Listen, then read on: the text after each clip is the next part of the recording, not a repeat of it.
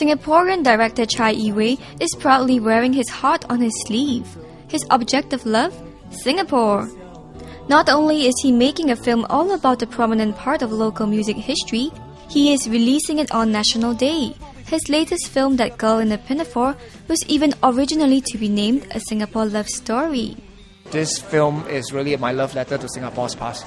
It is a film about uh, a very important part about Singapore musical musical uh, journey, and uh, I want to do a tribute to it because people should be reminded of, of this heritage that we have and remind ourselves why we love Singapore, you know, really. Xinyao, the popular folk songs of Singapore in the 90s, form the musical landscape of this movie. It sounds dated in comparison to the sophisticated beats of today's music. But the 35 year old Yee-wei wants to remind today's youth about the glorious success of the Xinyao movement. More specifically, Xinyao refers to the simple acoustic Mandarin songs of the 1990s, with its humble beginnings in guitar strumming college students. Oh,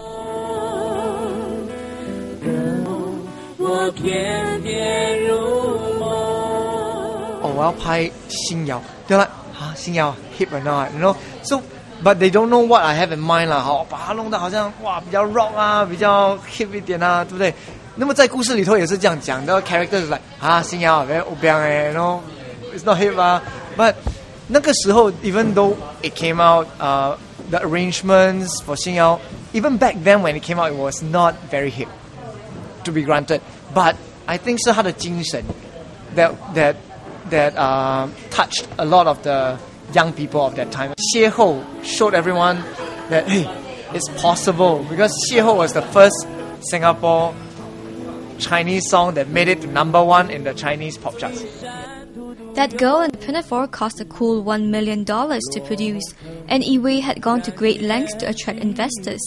The topic of Xinyao seemed pretty boring, so the director had to play up the film's more appealing elements, like its love story, so that investors would catch on. I just hope to make the money back for my uh, investors. I think above all, they should be the ones uh, to be applauded uh, for taking this project up because almost all of them, the investors, were Ang Mo pai and they didn't know what was Xin Yao and I the way I sold them was oh, I'm doing a love story based on local you know I wasn't selling the singing so much but but once the music parts came in they don't even know these were old songs they were like wow no the songs are really good they're really cool and and, and I'm grateful that uh, they took the risk uh.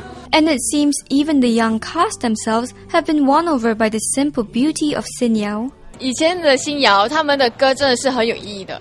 然后现在的歌就是一直 repeat，一直 repeat，一直 repeat 来。Like 呃，我不是要 no offense to any other song that I'm gonna you know try to make an example like call me maybe 就是 call me 一直 call me 一直 call me call 到没有明天没有没有今天明天后天这样子。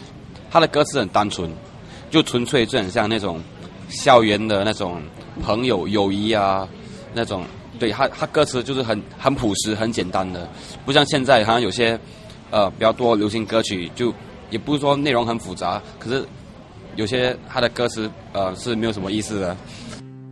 Yee-wei says that his film gives a fresh new sound to the Sin songs of the past.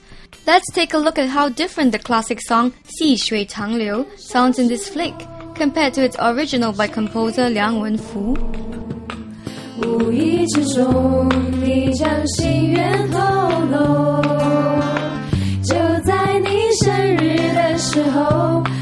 我将小小口心酸，最难忘记。你的笑容。友情的溪水慢慢流，流进了你我的心中。曾在球场边为你欢呼，你叠上我背负。Like the catchy new version of the old classic, don't forget to catch that girl in a pinafore in cinemas on National Day.